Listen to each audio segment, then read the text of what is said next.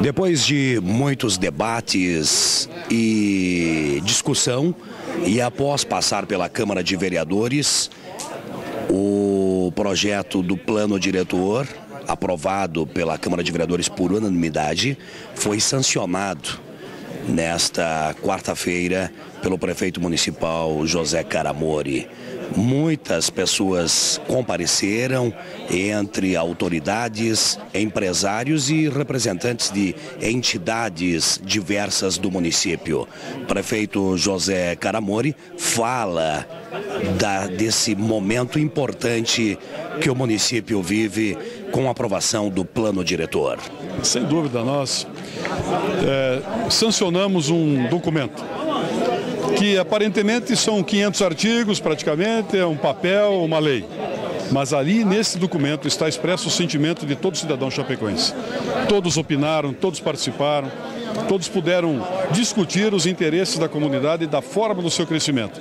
Garantimos um crescimento sustentável, garantimos uma lei moderna, limpa, clara, que ordena o nosso crescimento por muitos anos e sujeitas, evidentemente, a suas alterações na medida em que for necessário, sempre de forma muito é, rápida e ativa, poderá ser é, adequado aos momentos, aos tempos, aos movimentos. Então, estamos felizes.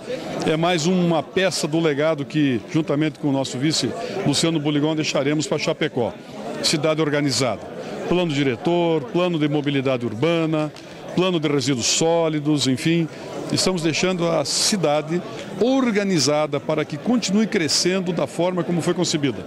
Com ruas largas, com arborização, com espaços verdes, com sustentabilidade e com qualidade de vida. Um dos atos mais importantes do seu governo, prefeito, o senhor é, definiria assim ou não? Sem dúvida, é um dos atos mais importantes, sim porque ele vai nortear todas as ações de crescimento do, do, município por muitos anos. Era um anseio de todos, não só do setor empreendedor, mas de todo cidadão. Era anseio que precisava ser transformado em realidade.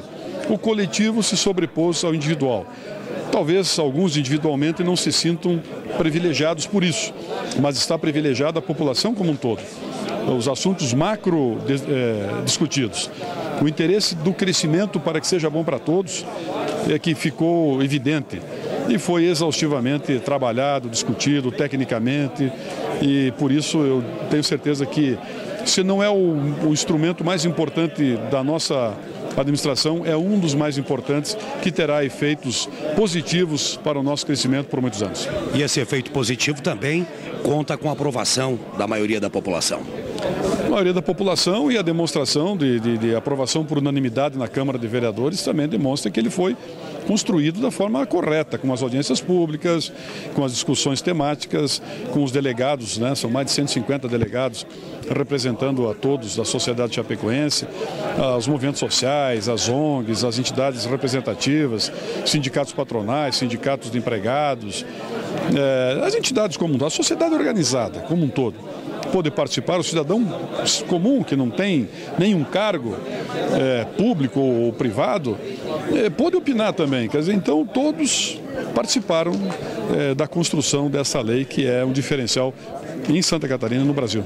Um marco na história de Chapecó e do seu governo, como eu já disse, mas para Chapecó fica registrado nos anais. Exatamente, um marco. Um momento especial e todo um futuro para que nós tenhamos obedecidas as regras que estão nesse plano diretor, nós tenhamos um crescimento com a qualidade de vida que o cidadão chapecoense espera. O vice-prefeito Luciano Boligon, que coordenou esse projeto do plano diretor, fala da sua satisfação.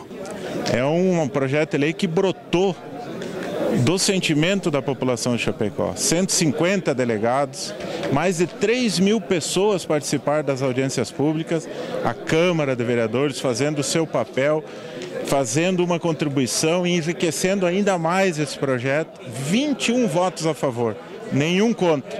Tudo isso demonstra que esse projeto não é meu não é do prefeito Caramor, é nosso, é do município de Chapecó, construído a muitas mãos e que vai fazer com que nós tenhamos um futuro ainda melhor. Uma cidade que se prepara para crescer. Está se avizinhando os nossos 100 anos. E quando completarmos 100 anos, vamos ter orgulho de dizer: somos a única cidade catarinense que completa 100 anos com mais de 200 mil habitantes, todos eles planejados, ordenados, participando desse crescimento. É a espinha dorsal de uma cidade o plano diretor. Mas quando o plano diretor é construído pela população, quando ele é construído num processo participativo nunca antes visto nessa cidade, é um plano diretor muito mais vivo, está pulsando dentro das veias de cada um de nós. Por isso nós temos a certeza que não é uma lei, não é uma folha de papel. É algo que vai impulsionar todo dia uma cidade que cresce sabe para onde está crescendo.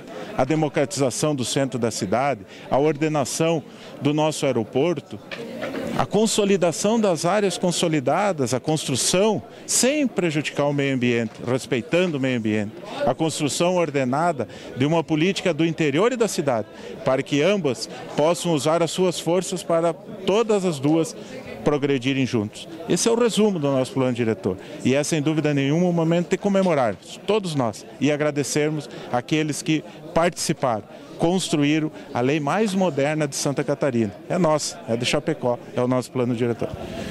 Teve muitas dificuldades pelo caminho para chegar até aqui ou não? Muitas discussões, é, as dificuldades foram enfrentadas sim, mas com conversa, com consenso, com busca é, do entendimento e, acima de tudo, com o espírito público sempre presente. O espírito, que, o espírito de que quem precisa ser protegido, quem precisa ser salvaguardado é a cidade de Chapecó. Por isso, esse espírito público que estava dentro de todas as conferências, mais de 60 encontros, mais de 3 mil pessoas assinaram atas de participação. O espírito público é que fez o norte de todas essas decisões. É uma vitória para Chapecó? É uma vitória, é uma conquista, mais uma conquista para Chapecó. No seu discurso, vice-prefeito, eu percebi que você não conteve as suas emoções, porque foi um momento único, um momento especial é, ter dado essa missão a você como vice-prefeito para coordenar isso tudo. Agradecer ao prefeito Caramori, porque dizem que eu sou um vice-prefeito atuante. Eu sou só um vice-prefeito atuante, porque sou delegado como atuante do prefeito. Então o prefeito Caramori tem esse espírito, tem nos provocado para que nós tenhamos uma administração a quatro mãos.